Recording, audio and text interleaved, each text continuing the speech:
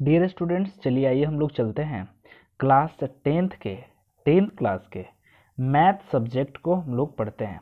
Tenth class में subject math जैसा कि जानते हैं, हम लोग एन के मैथ्स को फॉलो करते हैं। तो एन से, जैसा जानते हैं आप कि एक्सरसाइज 4.3 तक के हम लोग का जो क्वेश्चन है, वो बिल्कुल ही कंप्लीट हो गया है। ठीक है? तो अब जब हम लोग का कंप्लीट हो गया तो आइए हम लोग चलते हैं। एक्सरसाइज चार पॉइंट चार को पढ़ते हैं। आप समझ पा रहे होंगे कि चार पॉइंट चार डायरेक्टली हम एक्सरसाइज स्टार्ट नहीं करते हैं। सबसे पहले एक्सरसाइज फोर पॉइंट फोर में जैसा क्वेश्चन है, उस क्वेश्चन से रिलेटेड हम कुछ एग्ज़ाम्पल से देकर कुछ क्वेश्चन समझाते हैं। सबसे पहले हम लोग उसको थ्योरी के बेसिस पे भर, पढ़ते हैं कि एक्सरसाइज 4.4 में का पहले आप थ्योरी समझ जाओ कि आप उसके पहले कुछ एग्ज़ाम्पल कुछ क्वेश्चन आपको समझा देते हैं ताकि जो एग्ज़ाम प्रश्न वाली, यानी कि एक्सरसाइज में जो क्वेश्चन मिलेगा तो वो प्रॉब्लम नहीं होगा। तो एक्सरसाइज 4.4 के लिए जो सबसे अहम बात है, वो हम लोग सीखेंगे मूलों का प्रकृति के बारे में। मूलों का प्रकृति के बारे में। तो आपको पता होना चाहिए कि मूलों का प्रकृति का मतलब क्या है। मूलों का प्रकृति। मूल का मतलब क्या होता है? जी हाँ आप जानते हैं, हल होता है। अगर किसी भी समीकरण को, द्विघात समीकरण को हल ज्ञात करने के लिए बोलता है या फिर मूल ज्ञात करने के लिए बोलता है, हम बता चुके हैं आपको कि दोनों एक ही होता है। मूल बोले या फिर हल बोले, दोनों का मतलब एक ही होता है। अब आइए जानते हैं कि मूलों का प्रकृति किस पर निर्भर करता है। ठीक है? तो इसमें हम लोग एक चीज़ लिखेंगे कि मूलों की प्रकृति जो है, मूलों की प्रकृति डी पर निर्भर करती है। और डी के बारे में तो आप जानते हैं। डी को हम लोग विवेचक के नाम से जानते हैं, या फिर इसी को विविक्त कर भी बोला जाता है। विविक्त कर हाँ इसको डी को विवेचक भी बोलते हैं, या विविक्त कर भी बोलते हैं। तो हम ये बोल सकते हैं कि मूलों की प्रकृति डी ब्रैकेट में डी को क्या बोलता है? विवेचक या विविक्त कर, पर निर्भर करता है। निर्भर करता है। तो मूलों की प्रकृति जो है, वो बिल्कुल हम लोग समझ पा रहे हैं। डी पर निर्भर करता है। अब डी का मतलब क्या है? तो डी का मतलब तो जानते ही हैं। अगर आप भूल पा रहे होंगे तो देख लीजिए डी का फॉर्मूला होता है b square minus four a c, जो कि सबसे अहम बात है, सबसे अहम फार्मूला है। डी बराबर b square minus four a c. अब मूलों की प्रकृति में डी बराबर b square minus four a c का वैल्यू किस तरीके से है, या फिर इसमें मूलों की प्रकृति हम लोग कैसे डिसाइड करते हैं? आइए हम लोग जानते हैं। तो मूलों की प्रकृति जो है, वो बिल्कुल तीन भाग में बांटा हुआ है। कितने भाग में? तीन भाग में। जिसको बोलते हैं हम लोग case number first c a s c case number first. तो केस नंबर फ़र्स्ट क्या है? जब डी का वैल्यू ज़ीरो से बड़ा होगा, ठीक है? जब डी का वैल्यू ज़ीरो से बड़ा होगा, यानी कि समझ पा रहे होंगे ना, वन हो, टू हो, थ्री हो, फोर हो, फाइव हो, ये तो समझ पा रहे होंगे।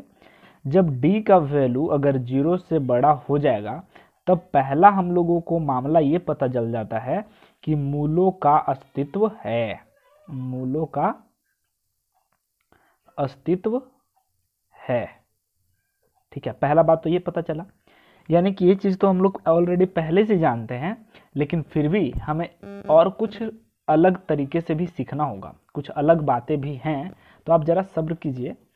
तो अगर डी का वैल्यू ज़ीरो से बड़ा हो जाए, यानी कि एक आ जाए, दो आ जाए, तीन आ जाए, मैंने ज़ीरो से बड़ा होना चाहिए। ज़ीरो भी नहीं होना चाहिए, याद रखिए, क्योंकि ज़ीरो कब होता? जब यहाँ पे बराबर लगाते तब। तो डी का वैल्यू अगर ज़ीरो से बड़ा आ जाए, तब पर भी क्या होता है? मूल का अस्तित्व है, का मतलब ये है कि उसे हल किया जा सकता है। उसका एक्स का मान निकाला जा सकता है, ठीक है? अच्छा फिर अगर डी का वैल्यू ज़ीरो से बड़ा होगा तो हम लोग जानते हैं कि कई गो मूल होंगे, मूल तो निकाला जाएगा, लेकिन इसके दो मूल होंगे। जी हाँ जैसे कि मतलब हम लोग जानते ही हैं कि द्विघात समीकरण में उसका दो गो आंसर आता है एक्स का, ठीक है? तो अगर जब उसको मूलों का अस्तित्व है, इसका मतलब है कि मूल निकाला जा सकता है तो बिल्कुल उसको दो गो मूल होगा। दो गो मूल का मतलब उसका दो गो आंसर आएगा।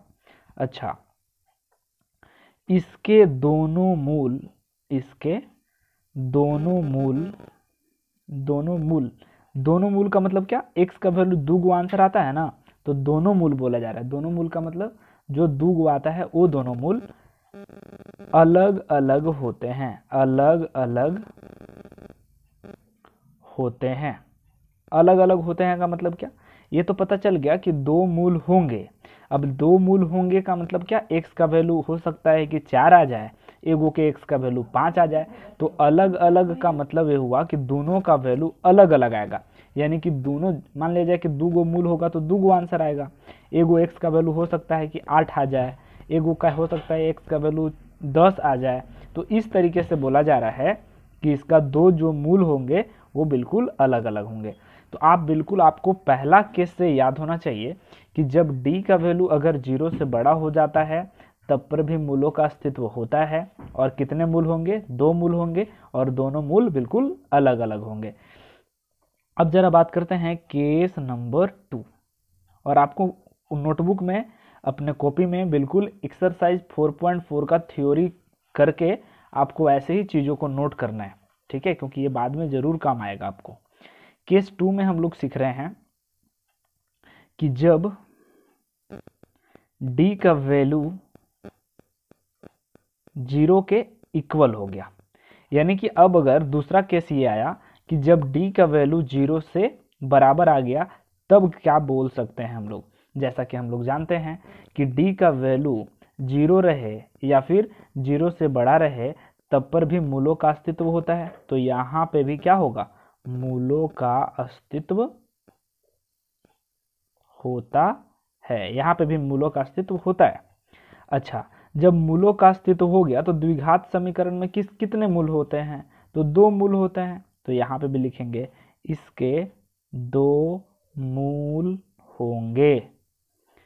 लेकिन अब लास्ट पॉइंट जो है, याद रखिएगा कि d का वैल्यू अगर ज़ीरो से बड़ा होगा तो दो गो जो x का वैल्यू आंसर आता है वो बिल्कुल क्या होते हैं? दोनों अलग अलग होते हैं, ठीक है? दोनों अलग अलग होते हैं।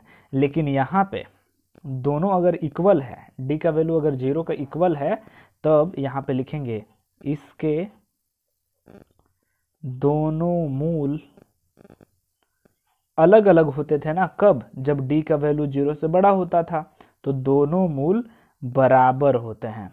देखिए ध्यान से चीज़ों को समझिएगा। आप इतना तरीके से क्वेश्चन को बताए हैं, बनाए हैं कभी कभी आपको ऐसा लगा होगा कि x का वैल्यू दोनों जब पॉजिटिव लेते होंगे प्लस में लेते होंगे या फिर माइनस में लेते होंगे, यानी कि दो गो आंसर आता होगा तो दोनों सेम सेम आंसर आता होगा। तो इसका मतलब ये हुआ कि वहाँ का डी का वैल्यू कितना आ रहा है? ज़ीरो यानी कि किसी भी केस में अगर डी का वैल्यू ज़ीरो आता है तो उसका दो गो जो आंसर आता है, वो दोनों आंसर क्या होते हैं? बराबर होते हैं। ठीक है? अब जरा एक और केस बचा हुआ है कब? जब डी का वैल्यू ज़ीरो से छोटा हो जाए। तो चलिए अब हम लोग केस थ्री सीखते हैं। जब डी का वैल्यू ज़ीरो से छोटा हो। जब डी का वैल्यू ज़ीरो से छोटा हो तो सबसे पहला हम लोग ये बात लिख सकते हैं, जैसे यहाँ लिखे थे कि मूलों का अस्तित्व होता है। तो यहाँ पे तो ये लिखेंगे कि मूलों का अस्तित्व ही नहीं होता है। मूलों का अस्तित्व अस्तित्व नहीं होता है। और आप यहाँ पे ये चीज़ समझिए कि जब मूलों का अस्तित्व होगा ही नहीं तो फिर उसका दो गो मूल होगा कि चार गो मूल होगा। यानी कि जब उसको हल किया ही नहीं जा सकता है, तब ये कैसे पता लगाएँगे कि एक्स का वैल्यू क्या आएगा, कि कै गो आएगा, कि दोनों बराबर आएगा, कि क्या नहीं आएगा?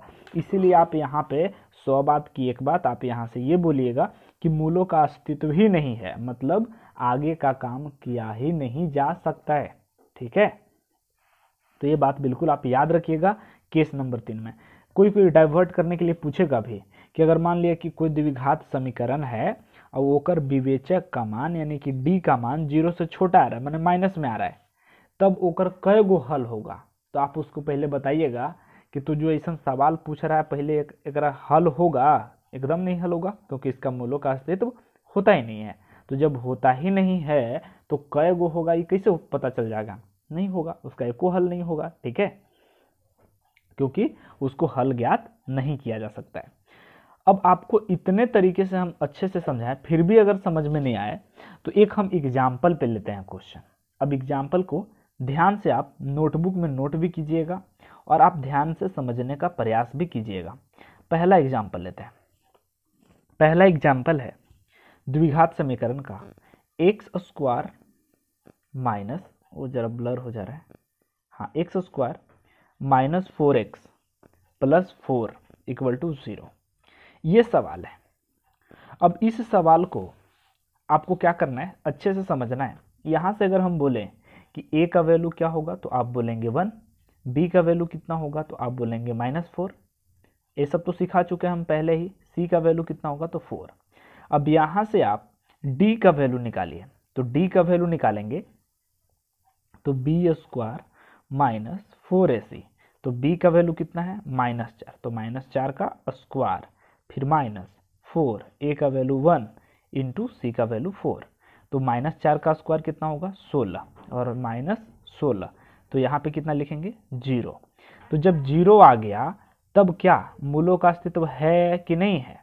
तो बिल्कुल है। देखिए, मूलों का अस्तित्व कहाँ कहाँ होता है? डी बराबर ज़ीरो में भी मूलों का अस्तित्व होता है और डी का वैल्यू ज़ीरो से बड़ा आता है, तब पर भी मूलों का अस्तित्व होता है। तो यहाँ पे आप ये लिखिएगा कि यहाँ यहाँ इस समीकरण का, इस समीकरण का मूलों का अस्तित्व है। मूलों का अस्तित्व अस्तित्व है। जब मूलों का अस्तित्व है तो x बराबर फार्मूला निकाल सकते हैं। द्विघाती सूत्र है, इसको बोला जाता है। तो द्विघाती सूत्र जो है, वो minus b plus minus root D बटा में टू वे होता है।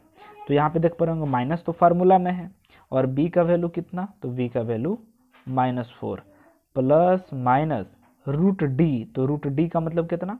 ज़ीरो बट्टा में कितना? टू इंटू ए आप देख पा रहे होंगे माइनस माइनस कितना होता है? तो प्लस फोर और प्लस माइनस अब ज़ीरो का वर्गमूल कितना होता है? ज़ीरो बट्टा दो गुना ए तो ए का वैल्यू कितना है? यहाँ से देख पा रहे होंगे वन तो दो गुना एक। तो कुल मिलाकर चार प्लस माइनस ज़ीरो बटा दो। जब यहाँ से आप दो गो टर्म्स लीजिएगा, यानी कि आप प्लस वैल्यू यूज़ कीजिएगा और माइनस वैल्यू यूज़ कीजिएगा, तब कैसे बनेगा वो देखिए। जैसे मान लिया जाए कि चार प्लस माइनस ज़ीरो है और बटा में कितना है? दो है। ठीक है? अब यहाँ से आप एक तरफ़ लीजिएगा प्लस वैल्यू एक तरफ़ लीजिएगा माइनस वैल्यू तो प्लस वाला लेंगे तो कितना बनेगा? चार प्लस ज़ीरो बटा में दो और चार माइनस ज़ीरो बटा में दो। तो यहाँ पे चार में ज़ीरो जोड़ेंगे तो चार बटा दो और चार में ज़ीरो घटाएँगे तो चार बटा दो। तो आप देख पा रहे होंगे कि ए गो में भी दो आंसर आ रहा है और दूसरा वाला में भी दो आ रहा है। कट जा रहा है दोबारा में कि नहीं? तो इससे यही प्रूफ होता है। हम आपको एग्ज़ाम्पल क्यों दिए? ताकि आप के अंदर ऐसा अच्छी सोचावट आ सके। आप चीज़ों को देखिए, आप प्रूफ के साथ देखिए कि हम लोगों का सवाल ये था। ठीक है? अब यहाँ पे हम लोग डी का वैल्यू निकाले ज़ीरो तो डी का वैल्यू ज़ीरो निकाले तो यहाँ पे समीकरण का मूल का अस्तित्व था, यानी कि है। तो हम लोग x का वैल्यू द्विघाती सूत्र की सहायता से प्रूफ किए। जब निकाले तो कई गो मूल निकला? दो गो मूल निकला, यानी कि दो गो हल निकला। और दोनों हल को देखिए तो दोनों हल कैसा है? बिल्कुल बराबर है। तो आपको हम यही समझाना चाह रहे हैं डियर स्टूडेंट्स कि अगर d का वैल्यू ज़ीरो आ जाए, d का वैल्यू कितना आ जाए? ज़ीरो तो आप लिखिएगा कि मूलों का अस्तित्व है और मूलों का अस्तित्व में क्या होता है दोनों? दोनों मूल बराबर होता है। अब देखिए आप चूँकि मैथ के स्टूडेंट हैं मैथ्स पढ़ रहे हैं तो आपको जो है कोई कोई व्यक्ति, कोई सर कोई आपके दोस्त उल्टा भी पूछ सकते हैं। कैसे उल्टा पूछ सकते हैं? कि आप बताओ कि दो गो कोई द्विघाती समीकरण के दो गो मूल है, ठीक है? और दोनों मूल जब बराबर आता है, तब d का मान कितना होना चाहिए? तो आप बिल्कुल बेहिचक बोलिएगा कि डी का वैल्यू ज़ीरो होना चाहिए। अरे भाई, वो उल्टा पूछ रहा है ना?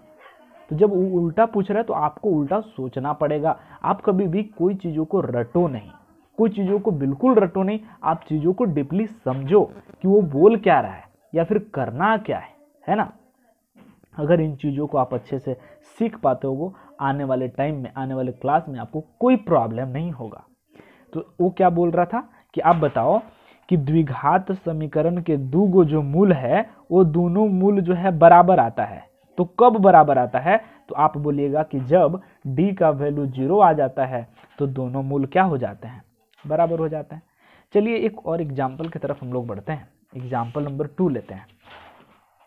यहाँ पे एग्ज़ाम्पल नंबर वन था, अब एग्ज़ाम्पल नंबर टू लेते हैं, दूसरे एग्ज़ाम्पल दूसरा एग्ज़ाम्पल कुछ इस तरीके से है x square x square minus five x plus six equal to zero ठीक है? अब जब x square minus five x plus six equal to zero है तो आप इस क्वेश्चन को देखते ही आप ये लिख पाएँगे वन ए का वैल्यू वन बी का वैल्यू माइनस फाइव सी का वैल्यू सिक्स, कोई दिक्कत नहीं है। अब यहाँ से डी का वैल्यू निकालेंगे। फार्मूला क्या भाई? B square minus four a c b का वैल्यू कितना? माइनस फाइव इसका स्क्वायर कीजिए। माइनस फोर ए कितना? वन सी कितना? सिक्स तो माइनस पाँच का स्क्वायर कितना? ट्वेंटी फाइव और ये सिक्स फोर जो कितना? ट्वेंटी फोर तो ट्वेंटी फोर करेंगे तो कितना आ रहा है? वन अब जरा बताइए। कि यहाँ पे डी का वैल्यू कितना आ रहा है? चीज़ों को देखिए वन आ रहा है। तो वन जो होता है ज़ीरो से बड़ा आ रहा है। तो यहाँ पे आप ऐसे लिख सकते हैं कि यहाँ डी का वैल्यू ज़ीरो से बड़ा आया। कितना आया? वन आया। तो ज़ीरो से बड़ा ना हुआ। इसलिए इस समीकरण के समीकरण के मूलों का अस्तित्व, मूलों का अस्तित्व है, मूलों का अस्तित्व है, बिल्कुल है, हम लोग निकाल सकते हैं। तो अब आपको क्या करना पड़ेगा? एक्स बराबर फार्मूला से minus b plus minus root D बटा में टू ए इससे चलना पड़ेगा। अच्छा अब इससे चलेंगे हम तो आप ये देख पा रहे होंगे कि इससे जैसे चलेंगे तो हम लोग को मिलेगा क्या? माइनस तो फार्मूला से है, और b का वैल्यू आप देख लीजिए माइनस पाँच है तो यहाँ पे b की जगह माइनस पाँच रखेंगे। फिर प्लस माइनस रूट डी तो डी का वैल्यू कितना आया? वन। बटा में कितना? टू ए तो ए का वैल्यू कितना है? देख पा रहे होंगे वन। तो यहाँ टू की जगह पे वन रख दिए, ए की जगह पे वन रख दिए। अब माइनस माइनस क्या होता है? Plus five. Plus minus one का स्क्वायर रूट कितना होता है? वन। वन का वर्गमूल वन, बटा में दो। अब यहाँ से हम लोग दो तरह का वैल्यू लेंगे, एगो प्लस, एगो माइनस। तो जब प्लस लेंगे तो यहाँ हो जाएगा फाइव प्लस ये वाला प्लस लेना है। प्लस वन बटा टू और जब माइनस लिए हैं तो यहाँ पे प्लस माइनस है तो एगो लेना है माइनस फाइव माइनस वन बटा टू तो सिक्स बाई कितना हुआ? टू यहाँ कितना हुआ? फोर बाई टू तो यहाँ हो जाएगा टू और यहाँ हो जाएगा थ्री तो आप डेयर स्टूडेंट्स आप देख पा रहे होंगे कि यहाँ पे भी दो गो मूल आया। बिल्कुल आया। अब यहाँ पे जो दो गो मूल आया ये दोनों मूल क्या है? दोनों बराबर है? जी नहीं, दोनों बिल्कुल अलग अलग है। तो यही तो हम आपको सिखाना चाह रहे थे, मूलों के प्रकृति में। क्या सिखाना चाह रहे थे? कि अगर d का वैल्यू ज़ीरो से बड़ा हुआ मतलब एक आया, चार आया, आठ आया, दस आया, ज़ीरो से बड़ा आया तो जो दो गो मूल निकलेगा, दोनों बिल्कुल अलग अलग होता है। और आप इन चीज़ों को ध्यान से बिल्कुल तरीके से आप समझिएगा। हम अगर उल्टा भी पूछेंगे कि, डियर स्टूडेंट्स, आप ये बताइए कि कोई द्विघात समीकरण है और द्विघात समीकरण के दो गो मूल का अस्तित्व निकलता भी है, निकल भी रहा है, लेकिन दोनों अलग अलग है। तो जब दोनों अलग अलग है, तब कौन सा केस में अलग अलग होगा? तो आप बताइएगा कि जब डी का वैल्यू ज़ीरो से बड़ा होता है, तब। चलिए, आइए अगला हम एग्ज़ाम्पल लेते हैं example number third example number third इसमें लेते हैं eight x square plus three x plus one equal to zero ऐसा अगर कोई इक्वेशन रहेगा, समीकरण रहेगा, यहाँ से ए का वैल्यू कितना? एट बी का वैल्यू कितना? थ्री सी का वैल्यू कितना? वन अब जब ए बी सी का वैल्यू दिया रहेगा तो आप डी कैसे निकालेंगे? तो डी का formula b square minus four a c b square का मतलब आठ का स्क्वायर माइनस फोर, ए का मतलब सॉरी, तीन का स्क्वायर ना, बी बी का वैल्यू तीन है, यहाँ से मिस्टेक हो गया, बी स्क्वायर, मैंने तीन का स्क्वायर माइनस फोर, ए का वैल्यू आठ, सी का वैल्यू है तो तीन का स्क्वायर कितना, नौ, माइनस बत्तीस, और जब इसको बत्तीस में से, नौ में से बत्तीस घटाते हैं, कितना बचता है तो इसमें बचेगा इक्कीस सॉरी तेईस ना, माइनस में तेईस बचेगा, ठीक है? तो माइनस तेईस। तो जब आप बताइए कि ये माइनस में तेईस आ रहा है तो क्या इसका मूलों का अस्तित्व है? तो यहाँ पे तो लिख लिखिएगा कि यहाँ डी का वैल्यू ज़ीरो से क्या आ रहा है? छोटा आ रहा है। ज़ीरो से छोटा, क्योंकि जिधर मुँह बंद रहता है, उधर छोटा होता है। तो ज़ीरो से छोटा आ रहा है, इसलिए यहाँ, इस समीकरण का, इस समीकरण के मूलों का अस्तित्व, मूलों का अस्तित्व नहीं है। और जब नहीं है तो आगे का काम करना ही बेकार है। है ना भाई? क्योंकि आगे हो ही नहीं सकता है, क्योंकि डी का वैल्यू कुछ ही में आ गया माइनस में आ गया। तो इन चीज़ों को आप अच्छे तरीके से समझिए। आपका मेन बात यही तीनों है, यही तीनों है। केस वन केस टू और एक बताया ना केस नंबर तीन। केस नंबर तीन की तरह गया? ये रहा आपका केस थर्ड हालाँकि ये हम लोगों को कोई काम का नहीं है, ये लोगों को ऐसे ही याद हो जाता है, लेकिन आपको याद करना ये दो चीज़ है।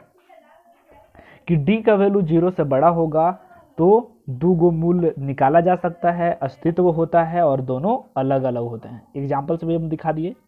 अगर डी का वैल्यू ज़ीरो रहा तो दोनों मूल बिल्कुल बराबर होते हैं। अगर आपको प्यारे स्टूडेंट्स अगर आपको ये बोलेगा कि दोनों मूल बराबर है, तब आप क्या करेंगे? तो आप डी बराबर ज़ीरो करेंगे, उसका उल्टा। चलिए अब हम लोग कुछ क्वेश्चंस को देखते हैं, जो एन के बुक में आपको एक्सरसाइज 4.4 में बोल रहा है क्वेश्चन जरा बुक दिखाते हैं, सामने लाते हैं आपके। हाँ जी हाँ। देखिए, एक क्वेश्चन है। एक्सरसाइज 4.4 क्लास टेंथ की मैथमेटिक्स की बुक से। क्वेश्चन क्या बोला जरा अच्छे से समझिए। निम्न द्विघात समीकरणों के मूलों की प्रकृति ज्ञात कीजिए। यहाँ तक सवाल समझिए।